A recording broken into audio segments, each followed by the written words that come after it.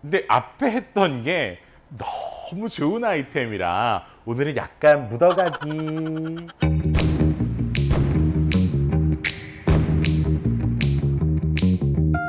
어김없이 오늘도 달콤한 디저트 타임을 선사하고 싶은데요. 근데 앞에 했던 게 너무 좋은 아이템이라 오늘은 약간 묻어가기. 아까라고 얘기하긴 그런데 우리가 그 rocher glaze를 만들었잖아요. 그래서 불현듯 생각을 한 거예요. 어, 그래. 우리가 지금 판매하고 있는 rose cruffin이 있는데 그 rose cruffin이 이쁘게 나오잖아요. 그래서 rose cruffin을 rocher glaze를 한번 묻혀보면 어떨까 이런 생각을 한번 해본 거죠. 그래서 오늘 이제 rocher는 지금 한 제가 40분 정도 해동을 했어요. 40분 정도 해동을 했고 180도에 한 16분 정도를 구워 볼 거거든요. 그래서 오늘 번외편 외전을 만들었어요. rocher glaze 외전편. 어. 그래서 rose rocher. 오늘 타이틀은 rose rocher. 어, 너무 좋다. 자, 그래서 요거 굽는 법은 방금 뭐 설명드렸듯이 해동 40분. 그냥 머핀틀 아무거나 갖고 계신 거에다가 이미 발효 다 끝난 제품이기 때문에 요 상태로 구워 주시기만 하면은 아주 훌륭하게 나오는 제품이고요. 오븐은 빠르게 예열 한번 해볼게요. 180도에 16분이에요. 그래서 이제 그 대한민국의 크로플 말고요. 그 전에 한번 유행했던 키 아이템이 cruffin이었어요. cruffin. 그러니까 어 이렇게 머핀에다가 뭐 이만한 높이로 해갖고 구워내는 그런 cruffin이 좀 유행했던 때가 있는데 다 사라졌죠. 왜냐하면 cruffin을 100% 구현하는 데들이 많지가 않았어요. 그냥 돌돌돌 말아서 넣어서 구우면은 cruffin이다라고 얘기하는 데들이 있었는데 지금 저희가 지금 판매하고 있는 rose cruffin 같은 경우는 이 약간 모양을 제가 약간 빼서 볼게요. 빼서 아, 안 빠진다. 약간 이거 좀 장미꽃 모양처럼 돼 있지 않나요? 장미꽃 모양. 그래서 요렇게 장미꽃 모양 여기 보면은 막 꽃봉오리처럼 얘가 만들어져 있어요. 그래서 이런 제품들을 구워내면은 요게 층이 생겨서 제품이 나와요. 그래서 해동을 충분히 해주는 게 좋다. 일반적으로 크로아상은 이런 틀에 들어가서 해동되는 게 아니잖아요. 그래서 이 제품 같은 경우는 틀에 넣고 해동을 하는 거니까 우리가 해동하는 30분보다는 10분 정도 더 시간을 주시는 게 좋을 것 같아요. 뭐 이걸 조금 더 풍성하게 구우시고 싶은 분들은 뭐 분무를 살짝 하셔도 좋아요. 뭐 스팀을 약간 주셔도 좋고요. 그 다음에 이제 어, 로쉐 glaze 만드는 거를 여러분 한번 보시죠.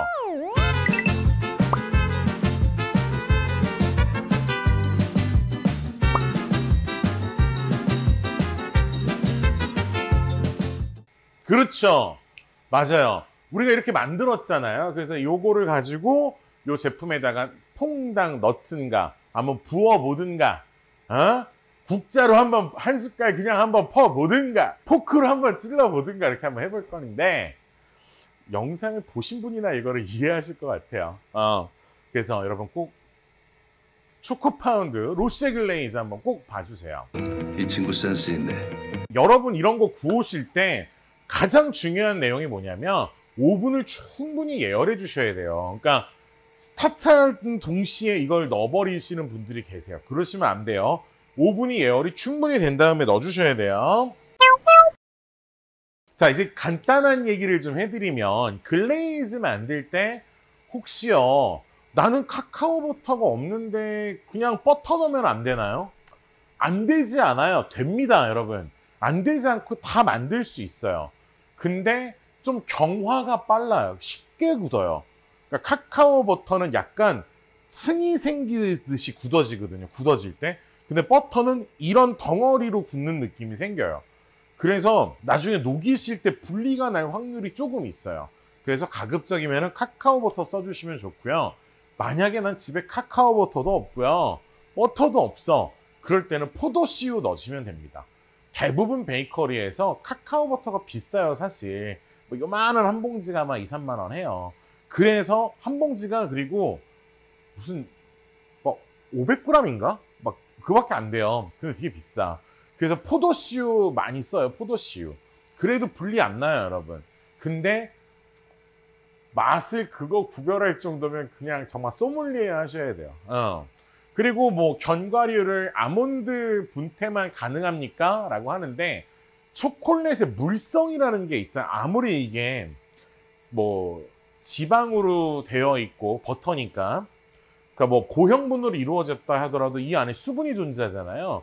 대부분의 견과류는 들어가면은 약간 습을 먹어요. 그래서 눅눅해져. 근데 아몬드는 약간 구워서 넣으시면은 우리 아까 구워서 넣었잖아요. 7분 정도. 180도에 7분 구운 거거든요. 그래서 이거 구워가지고 넣으면 그나마 좀 오래 가요. 바사삭한 그 느낌. 그래서 여러분들이 작업하시기에는 요만한 아이템이 없어요. 그래서 뭐 이거 가능한 거 뭐가 있나요? 라고 하는데 무스 케이크 만드셔서 glaze 이거 하셔도 되죠. 크로아상에다가 묻히셔도 되죠. 그 다음에 또 뭐 있어? 에클레어 이걸로 하셔도 되죠. 뭐 팔, 요즘에 그 palmier carré 하잖아요.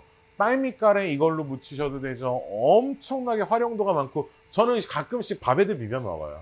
헛소리 하지 마 임마 여러분들이 다양한 활용도가 있다는 거를 좀 알아두시면 좋을 것 같고요. 보관은요, 저희 매장 같은 경우는 한 일주일치를 한 번에 그냥 이런 곰솥 같은 데다가 만들어 놓고 썼거든요. 그래가지고 그거를 다 소분을 해놨어요. 굳혀가지고. 왜냐면 이제 시간 녹이고 하는 게 귀찮으니까 전자레인지에다가 빨리빨리 쓰려고 한 200g씩 다 이렇게 분할을 해갖고 비닐봉지에 넣어놨고 냉동실에 다 굳혀놨다가 바로바로 썼거든요. 그러니까 그렇게 뭐 업장에서 쓰시는 게 아니라면 그냥 이 정도면 한 적당히 만드시고 당일 생산하시고 당일 폐기하세요. 삐 끝났슈. 자 이렇게 일단은 크로핀이 나왔고요. 어 크로핀을 식기 전에 그러니까 제 생각은 그래요. 이 제품이 식기 전에 글레이즈를 발라줘야지 이게 너무 두껍게 발리지 않을 거예요. 그 우리가 파운드 케이크 편에서 보셨잖아요. 약간 glaze가 뜨겁게 한다든지 아니면은 뭐 둘 중에 하나가 있는데 현재는 glaze가 뜨겁지 않으니까 제품이 뜨거울 때 와우 요 느낌으로 한번 glaze 해보면 좋을 것 같아요. 자 이렇게 해서 준비가 다 된 제품에다가 이거 이렇게 잡으시고 나와라 맞는 국자. 음 뜨거워요. 이 뒤는 이렇게 손을 돌리셔서 이렇게 만드신 다음에 자, 짠 뾰로롱. 얘도 나와라 맞는 국자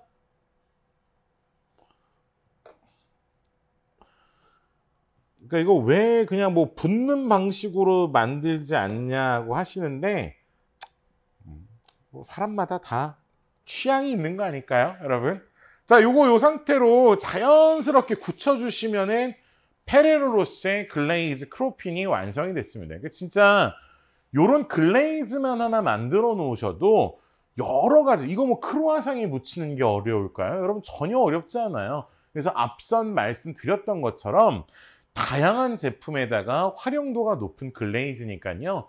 여러분들도 매장에서 또는 가정에서 편하게 만드셔서 보시면은 아주 훌륭한 제품들을 만드실 수 있을 것 같습니다. 다음에 저는 더 알찬 활용도가 높은 레시피를 가지고 찾아오겠습니다. 저는 베이켓의 항신우동 페이스트리 셰프 버나드 송이었습니다.